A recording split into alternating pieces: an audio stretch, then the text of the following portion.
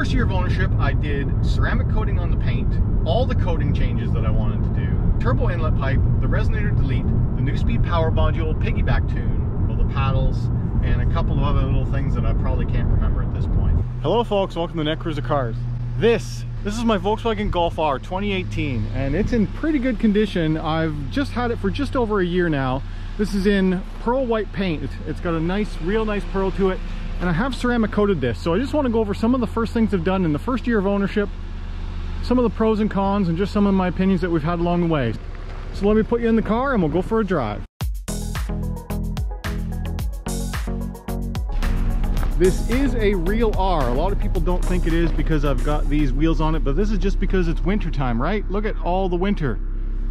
So yeah, real quad exhaust tips, pretty dirty because it's winter time, but let's go for a ride. Leather seats are holding up pretty well. I am fairly conscious of wear, so I try and make sure that I don't put too much pressure on these bolsters, but they're excellent. And then really the only thing I've noticed is that there's a little bit of a wrinkle in the center section, but that's pretty normal for all leathers. And overall, my leather seats are holding up very well. The back seat, I always have a dog protector on it, so I don't even really use them. I just use it for storage. Really nice thing about a hatchback is how much storage you have. Tons and tons of storage in here, plus all the back is full as well. Full of fun RC stuff that I'm about to go do this weekend. That was telling me proximity key. So I have just put over 18,000 kilometers on this and I'm about two or three weeks beyond the uh, the one year of ownership. All right guys, I just drove the Golf R and holy crap, it exceeded all my expectations. Do I need a Golf R? I want a Golf R. Heck yeah, I do. So I was around 17,000 at the first year, which is high for me. Usually I'm between 13 and 15,000, but I really like driving this car a lot. So I've gone on some pretty long road trips and stuff, and it's just a joy to drive. So let me go through a bunch of the things that I like and I don't like about it, and we'll go for a long drive. Golf R, startup sequence, full digital dash, navigation, 8-inch touchscreen, 300 horsepower all-wheel drive. All right, welcome to inside of the Golf R. We're gonna go for a bit of a drive, and uh, overall, the only thing that I've done to this car for, for mods of interior space has been to add these paddles on. And these paddles are really nice. Uh, I have made a video about these as well. These are called the Speedwow paddles, and they're excellent. I really like them. Let's go for a drive, and I'll talk to you about this car.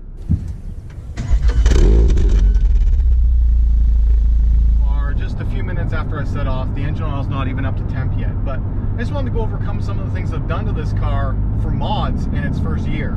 A lot of it has been through OBDeleven that was programming the computer interface and the CAN bus interface to do specific things that I wanted, and I've made quite a few videos about that. Even the one where I'm showing to adjust colors on the display that you don't normally have has over 400,000 views now in just one year. People love this being able to code extra features into your car, there's a couple of big ones that I've done that I really, really like the most. My favorite coding upgrade that I've done is the lane assist. Out of box, it it has kind of lane departure warning support where it uses the front camera that's in the windshield and it causes it to kind of bounce between lanes like a drunk driver. And I never really liked how that worked, and that was its lane assist. Now, after the upgrade that I've done, which I am going to make a separate video about, it now tracks straight. It actually has real lane keeping. Even to the point where me just trying to cross over this dotted line here, the car did not want to let that happen. And that unlocked adaptive lane tracking. So now I can turn off or on this. And so I can show you some self-driving here. As long as I have two green lines in my dashboard, which this is the digital display, so I get a lot of information in here. As long as I've got two green lines, I know that it's self-driving. So if I just let go, it'll track itself straight. The car is currently now driving itself for the most part, and it'll do this for 30 seconds at a time. Now previously, so it's got a slight bend here, it's gonna do it all for me, and I just have to monitor it. It'll only do this for 30 seconds at a time. Previously, and now it's telling me to take. Previously, it would it would have bounced around like a drunk driver. It would have not done that smooth. So that is the, my favorite coding upgrade I've done. It is a real legitimate extra feature that I didn't have before. One of the great things about this car is all of the distance sensors that it has, which is an upgrade when you buy the car. It's the driver assistance package, which is I think the best deal of the whole car. It's like under $2,000 and it gives you uh, the collision detection warning, the front radar assist, the lane assist, the um, what else is there? Oh, the uh, high beam assist. So it does all the high beam, low beam stuff for me. It is an excellent package, well worth it. So here's the benefit of all those sensors and stuff. I'm currently just cruising at 100 kilometers an hour using the radar assisted cruise control and it's coming up on a car in front and the car is automatically slowing down and having the DSG gearbox will allow it to now actually go down gears as well. So I don't believe you can do this functionality with a manual transmission. So that's one of the benefits of having the driver assistance package plus DSG just allows you to have more autonomous driving. So it's even going to turn this corner for me. It's keeping a distance from this car. I'm all I'm having to do is just watch what it's doing. It, it's literally driving itself, which some of you may not want in a driver's car, but it's nice to be able to have the best of both worlds, in my opinion, where you can drive this as hard as you want manually, or when you're on a long road trip like this, I can just let the car drive itself. Look at this, trusting it into traffic. Yeah, it's pretty good. Self-drive. Pretty soon the cars are going to completely drive themselves, and we're not even going to need humans. But anyway, at 30 seconds at a time, this is doing it. Well, some of you don't like this like robot driving the car stuff, but from a safety perspective, it is certainly better. Having those park distance control sensors has saved me from hitting the front of a curb that I couldn't see, uh, as well as when I'm when cars are approaching that are in my blind spot, it gives it a bit more data to work with to know if there's a car that you're going to hit or is getting so close that it's going to affect you. Now I'm a bit of a tech head, so having all of the computer controlled systems as well as this digital display in here is one of the huge perks over my GTI that I had is having this in here with all of this data that I can see, as well as the automated systems that are in this car, plus just the extra power and the all-wheel drive. So just to run down a list of all the things that I've done to this car on year one, has been all of the coding changes, things like lane assist, colors in cockpit, remote fob working with ignition on, remote control windows, uh, heated seat retention, auto fan speed indicator, there's a huge list of stuff that I've done. I'm sure I'm missing a couple of big ones that I like, but th that's the majority. Um, those are major things that I like to do to any new Volkswagen that I get is to code them to how I like them. Uh, oh, I've changed it so my rear taillights are on all the time. Um, just stuff like that I really like. Oh, I also hard coded, I also manually code changed how my rear signals work completely. I made a whole video about that as well. So it used both LED indicators on brake flashing, on signal flashing, instead of using just one outer brake light. So coding changes are the big thing that I did. Then for power mods, I've done the turbo inlet pipe, which is a bigger pipe that goes into the turbo, it just reduces restriction. And my favorite hardware mod that I've done was the resonator delete. So that was a physical change to my exhaust system, which cut out a middle muffler that runs right down the middle of the car. So I cut that out, you put in a straight pipe, and it just makes the car wake up.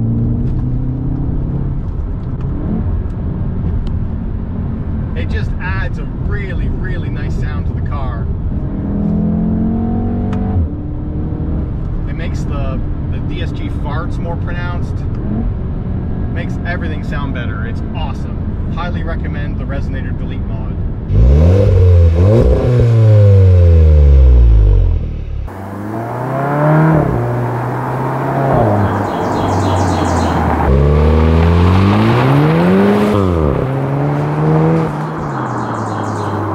It's by far the cheapest exhaust mod you can do, which gives you real exhaust sound.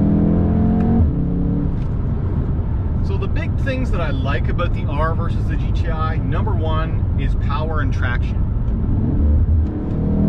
You just plant it and you go. It's amazing. Love it. Love the power delivery. Love the traction. There's only one downside I've found from the traction aspect of having it be all-wheel drive versus the GTI, and that's turning circle turning circle on the R is significantly wider than the GTI, probably by one to two car lengths. It's significant. Where previously on the GTI I could do a UE in like a two lane road, with this you are shoulder to shoulder to do that. Um, so tight maneuverability is a little bit worse with the R just because of the all-wheel driveness of it, but that's the only downside. Everything else is gravy. Even economy, I feel like the all-wheel drive did not make a major hit to economy. I would say that my uh, getting worse economy because this car has 100 more horsepower than the GTI, and you get the traction, so I tend to use it more. Like stoplights and stop signs are a great option for that. So I'm gonna stop here. I got here first, and I'm just gonna full throttle go. For power upgrades, I did turbo inlet pipe, resonator delete, and then the other power mod I did was to move my Neuspeed power module, which is a piggyback tune box, from my GTI into the R. They are compatible as the engines are similar enough and all the sensors are similar enough where I could do that. That's kind of an older style tune box now. Uh, a lot of people really like the JB1 and the JB4. A JB1 is the equivalent of my Neuspeed power module. Pretty darn close. My, I feel like my new speed is a little bit higher spec than a JB1 but it's not as good as a JB4. A JB4 piggyback tune is a physical box that you plug into three sensors on the engine and it fools the engine into thinking that it's boosting lower than it should be and allows you to run your turbo at a higher boost level, get more fuel. It, changes the mapping of the ECU without having to reprogram the ECU. So a lot of people like doing that because the dealership can't see that you've coded anything different in the car they don't know that it's there. My Neuspeed power module is a fixed, flat 5 psi boost over stock turbo speeds, and that is good to use on 91 to 94 octane fuel. It has a switch on the back of it where I can go to 100 octane fuel, and that will give me a 7 psi turbo boost. But I have not done that because I don't run 100 octane race fuel.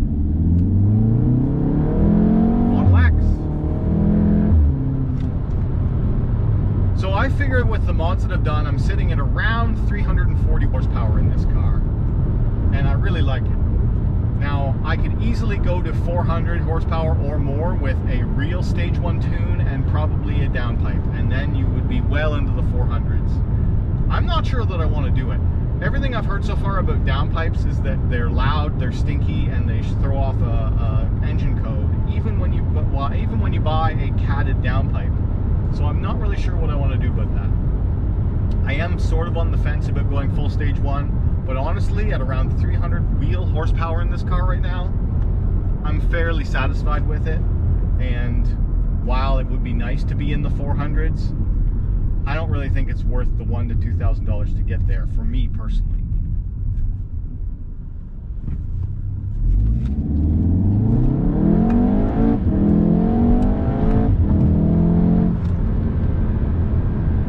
difference in my R to my GTI is I went for the DSG in this model. Now the double clutch 7-speed DSG was brand new in this year, 2018. They'd used it in Audis before, so I wasn't worried about reliability, but previously it was a 6-speed unit which got worse fuel economy at highway speeds, but the 7-speed is really good. And I've been very happy with the economy and performance that I've gotten out of this DSG. It is way faster than my old 2009 first generation DSG, and I have no regrets of not going to a manual other than losing some of the physical engagement, I feel like the benefits that I got by going DSG outperformed my engagement factor that I would have had on a real manual. Because with the DSG, I get three different shift modes. I can be in drive, I can be in sport, or I can be in manual, as well as it allows you to keep power on during a shift. So you get those really awesome DSG farts.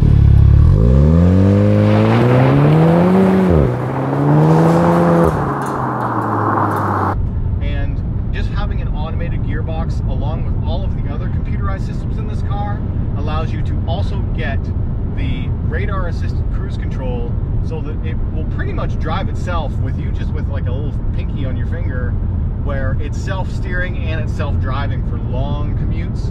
It's awesome.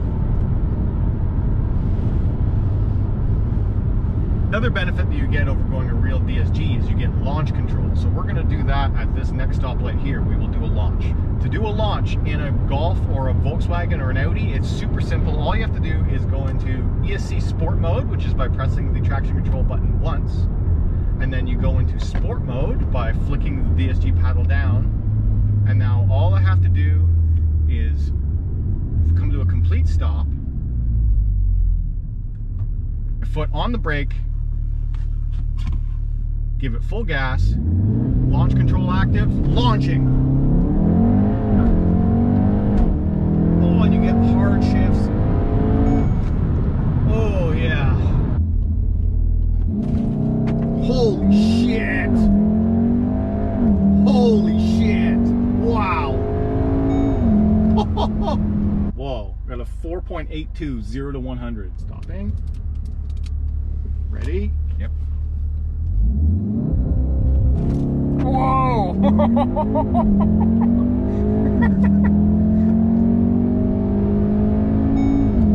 Five point one three with two people. That's good.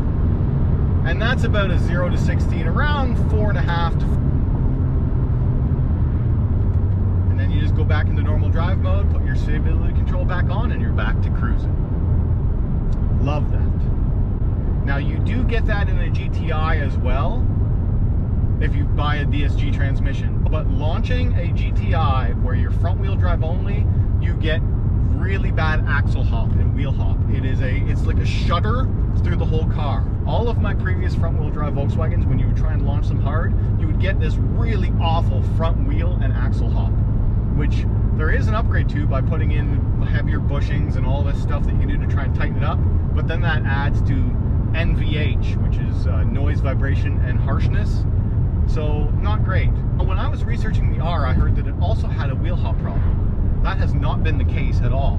I've launched this thing probably a dozen times since I've got it in a year. I've never once had axle hop. And I've done it in winter, summer, all conditions. It's fine. Doesn't doesn't axle hop. Really like it. Now that might be an upgrade over this Mark 7.5 model. I had heard of axle hop in the Mark 7s. So who knows? Maybe it was upgraded mid refresh. I don't know. But I've launched this thing a bunch of times. I've never once had my wheel hop.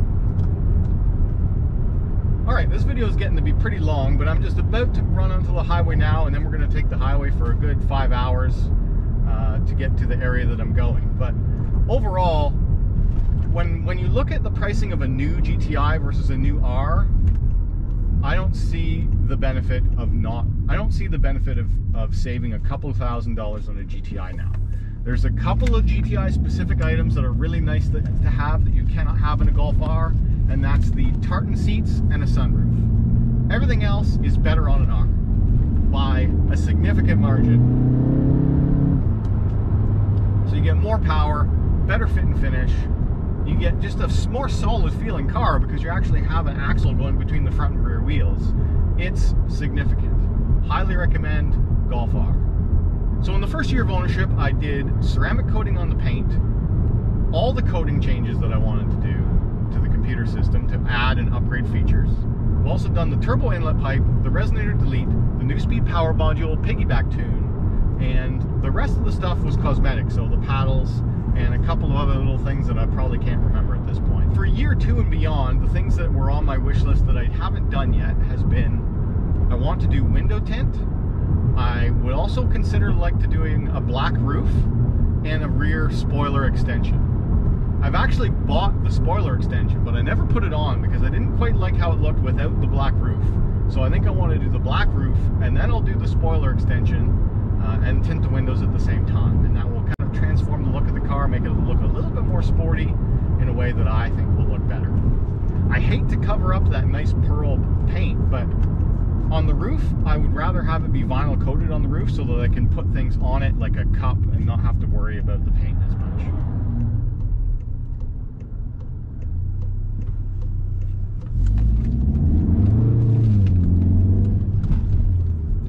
So we're about to enter into a 400 series highway now, which has a speed limit of 110 kilometers an hour. So we'll do a little bit of a highway pull, at least that was my intent, but we've got traffic up ahead, so I can't.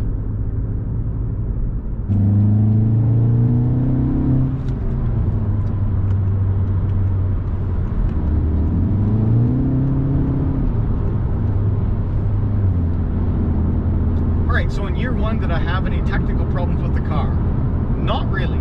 I've had no mechanical problems with the car. The only thing that I took it in for warranty on once was this little door that's in the center cluster here was a little bit misaligned and they've just tweaked it a little bit and now it's great. So that's the only warranty thing I've done to this car was to have that front door adjusted on the center gauge cluster. Other than that, it's been ace. So what's my biggest regret year one with the Golf R? Funnily, it has nothing really to do with the Golf R, it has to do with maintenance, and that's because I took it to a dealership for its first oil change. I was supposed to get a deal through the dealership I bought it from to get 10% off all service and stuff. Didn't really work out that way. I did a basic first oil change, and that was almost a $300 bill just to change the oil in this car and do oil and lube. Whatever lubrication they used on all the door hinges and stuff was like thick and yellow, and so it's visible and it looks really ugly. So I am not impressed with that. That's the first time I've ever had an oil and lube where there was like physical gross lube all over all the hinges. I mean, sure, it's gonna make them so they stay smooth, but Gonna have to wipe that off. That's the other thing about cleaning this car is that I choose white because I like white. Also, white tends to look cleaner longer. It's a, it's kind of a reverse thinking. You wouldn't think that, but it's true. Lighter cars look cleaner longer because most of the time the dust and the dirt is kind of light colored, so you don't really see it as well. Interior cleanliness, there is a sea of piano black in this car. It's a lot of piano black, which is not great. I don't like piano black, but as long as you've kind of got it in your brain of like, do not dry rub it, never dry rub it, it should be okay. So I have a, I have a couple of microfibers in here for just special things like doing the gloss black, kind of take care of the caring, taking care of the dust problem it does look really good when it's clean, but when it's not, it looks really gross. The other change that happened kind of mid-year, and this is not a GTI to R specific problem, this is kind of just a, from a, like a 2015 to 2017 versus 2018 to 2020 change, is this radio got rid of all of the hard buttons and went to touch control panel buttons on the side, which looks nicer but works worse. So when you get this, they don't even make a noise when you touch them. They, you have to go deep into the menu and there's an option for actually turning on a click noise when you touch them. Otherwise, you don't know if you've clicked right because they have a fairly small touch point and in the winter when it's cold, they don't work with the gloves on. So I don't like that. The screen is really nice and I use Apple CarPlay uh, a lot and all that stuff works great. You just plug it in, works excellent. Awesome done a little bit of rambling. Uh, this is going to be kind of hard to cut together. I might just do it as, as kind of a stream of consciousness type drive and vlog. So, yeah, Golf R year one, no regrets, love it. Financially wise, this car is costing me about $100 more a month, 100 to $150 more a month than my GTI was. But this car is also worth ten to $15,000 more than also, for Canadians, we kind of get a deal on a Golf R because I got this Golf R off the lot for $43,000. And if I was to go in and buy a brand new GTI Autobahn, it would be $39,000. So for a $4,000 difference, I got a Golf R. And in 2015, when I did that same comparison, it was a ten to $15,000 difference to get a Golf R. So the GTI pricing went up and the Golf R pricing stayed the same, so the value option of a Golf R got better and the value of a GTI got worse. Now the GTI did get some added features that this car has. The GTI started getting electronic differentials and the new uh, Rabbit edition that came out this year had the adaptive dampers that this does. Oh, that's the other thing. This Golf R has adaptive dampers, which allows you to have it in comfort, race, sport. It allows you to have three or four settings of suspension feel. I love that. So I keep it in comfort all the time, but I keep my drive conditions and stuff in like race feel. So I have race steering, race throttle, but comfort suspension. Love that. You can do that if you buy a brand new GTI, but that GTI is going to cost you almost 40,000 Canadian. You can get a Golf R for 43 to 45,000 dollars Canadian. So I say if you have the means and if you like the performance and you live in a climate that warrants having all-wheel drive, get a Golf R. There's almost no downside to getting a Golf R. I absolutely love it. Alright guys, if you enjoyed this video, hit that like button. If you're new around here, subscribe. If you want to talk to me, leave a comment down below. And as always, thanks for watching.